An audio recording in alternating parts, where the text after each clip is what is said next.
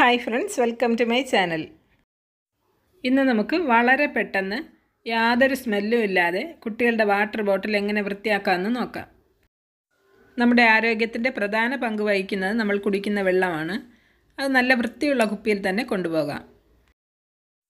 ഈ കാണുന്ന പോലെ ഡിസൈനുള്ള കുപ്പികളിലാണ് പെട്ടെന്ന് അഴുക്കും അതുപോലെ എണ്ണമയമൊക്കെ അടിഞ്ഞുകൂടുന്നത്.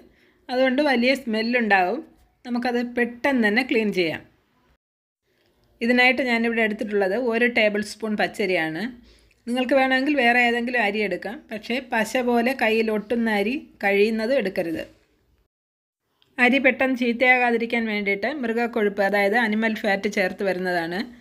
അത് എടുക്കുന്നത് കൊണ്ട് കുഴപ്പമില്ല. എങ്കിൽ ഒരു രണ്ട് മൂന്ന് തവണ കൂടെ സോപ്പിട്ട് കഴുകേണ്ടി വരും. പച്ചരിയിൽ കയ്യിലൊട്ടി പിടിക്കുന്ന പശ കുറവായിരിക്കും. അതാണ് കൂടുതൽ നല്ലത്. ഇനി ഇതിലേക്ക് നമുക്ക് കുറച്ച് വെള്ളം ഒഴിച്ചു കൊടുക്കാം. പ്ലാസ്റ്റിക് കുപ്പി ആയതുകൊണ്ട് തന്നെ ചൂടുവെള്ളം ഒഴിക്കേണ്ട നോർമൽ വാട്ടർ മതി. പ്ലാസ്റ്റിക് കുപ്പികളിൽ ചൂടുവെള്ളം ഒഴിച്ചാൽ അതിന്റെ പ്ലാസ്റ്റിക്കിന്റെ വിഷാംശം ഇറങ്ങി വരും. അതുകൊണ്ട് നോർമൽ വാട്ടർ മതി. ഇനി ഒരു ചെറിയ കഷ്ണം സോപ്പ് ഇട്ട് കൊടുക്കാം. പാത്രം കഴുകുന്ന സോപ്പോ ബാർ സോപ്പോ എന്തായാലും കുഴപ്പമില്ല. നമ്മൾ പെട്ടെന്ന് കുപ്പി കഴുകിയെടുക്കുമ്പോൾ സോപ്പ് മാത്രം ഉപയോഗിച്ച് കഴുകുകയാണെങ്കിൽ എണ്ണമയം മാറിയാലും ആ സ്മെല്ല് മാറിക്കിട്ടില്ല.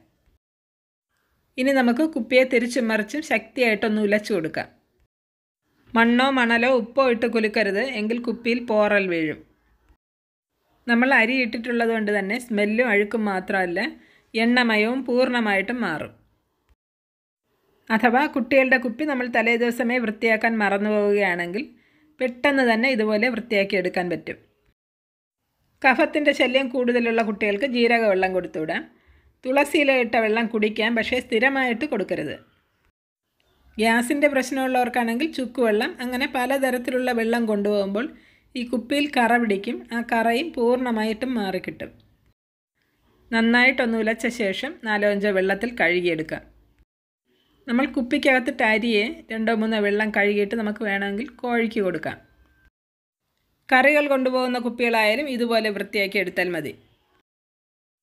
നമ്മൾ അരി കഴുകുന്ന വെള്ളം കൊണ്ടും അതുപോലെ നമ്മൾ ചോറ് വാർത്തെടുക്കുന്ന കഞ്ഞി വെള്ളം കൊണ്ട് കഴുകിയാലും കുപ്പിയുടെ ഉള്ളിലെ എണ്ണമയവും അതുപോലെ തന്നെ ആ സ്മെല്ലെല്ലാം മാറി വരും. എന്നാലും അരി ഇട്ട് കഴുകിയാലേ അതിന്റെ ഉള്ളിലുള്ള അഴുക്കെല്ലാം മാറിക്കിട്ടു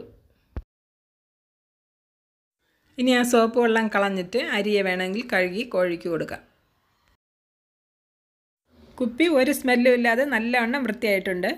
ഈ വീഡിയോ നിങ്ങൾക്ക് ഇഷ്ടമായെങ്കിൽ ലൈക്ക് ചെയ്യാനും കമന്റ് ചെയ്യാനും മാക്സിമം കൂട്ടുകാർക്കൊക്കെ ഒന്ന് ഷെയർ ചെയ്യാനും മറക്കരുത്. അതുപോലെ എന്റെ ചാനൽ കൂടെ ഒന്ന് സബ്സ്ക്രൈബ് ചെയ്തേക്കണേ. അടുത്ത നല്ലൊരു വീഡിയോയുമായി കാണാം. നന്ദി.